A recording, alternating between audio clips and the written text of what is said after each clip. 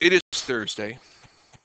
Not only that, but it's a Thursday that ends the week because there is no school for you guys tomorrow, which isn't actually exciting for me because I hate staff meeting day where we have to sit in meetings all day, and I'd rather be teaching, but I digress.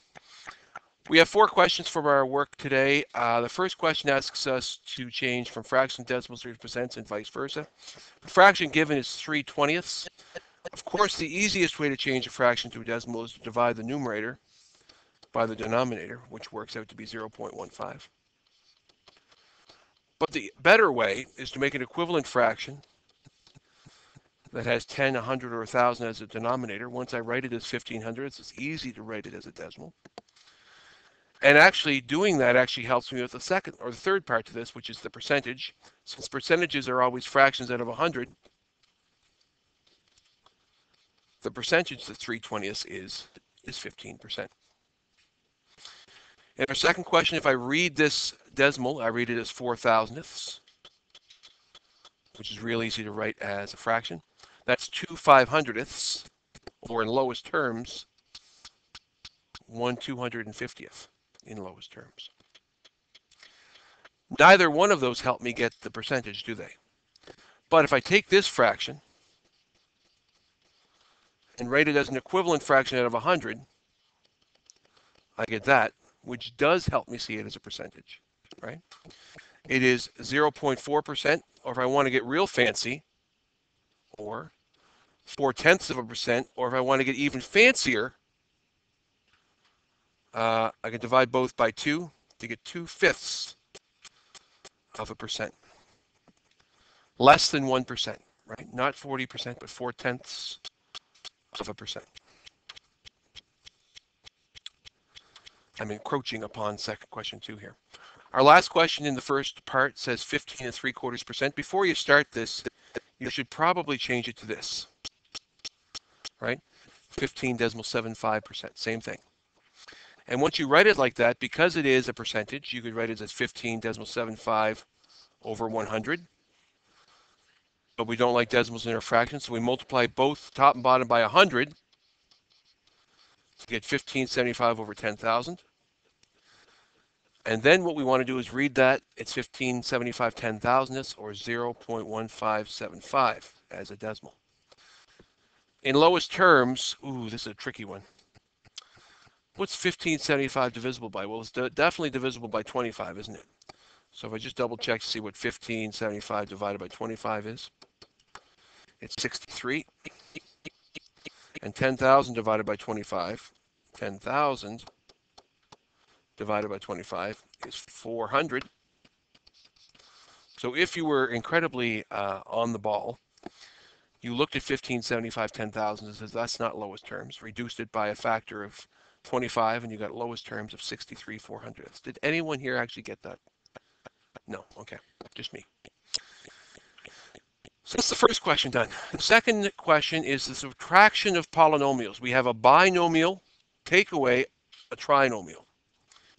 And what did we say the easiest way to subtract polynomials was? Add the opposite, right? Just like in grade seven, when you learned how to do this one, you learned to keep, flip, and change. The same thing happens with polynomials. If we keep the first polynomial intact, change it to addition, and use the opposite of every term in the second polynomial and add them or gather like terms, we'll have the answer. Now the instructions do say write in descending degree. So which term of those five terms has the highest degree? Right, so minus 2x squared is our first one. There are no other x squared, so we can't combine it. We have a positive x with a positive 3x, which makes a positive 4x. We have a negative 4 with a negative 1, which makes a negative 5. So when you added those, sorry, subtracted those, you actually added the opposite. You ended up with an answer of negative 2x squared plus 4x minus 5. Our third question gives us an algebra with decimals uh, as constants and coefficients. Our first thing is to get rid of our constant by adding 3.8 to both sides.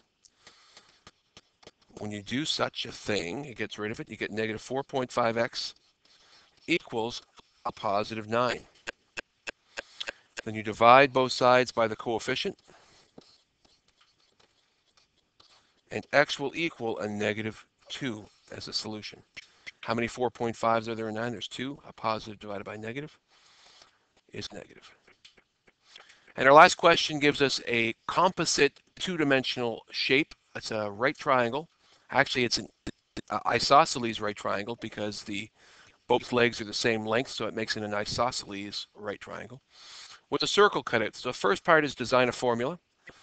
So if the triangle did not have anything cut out, its formula would have been base times height divided by 2. But because it's missing a circle, our formula would be base times height divided by 2, uh, subtract pi r squared.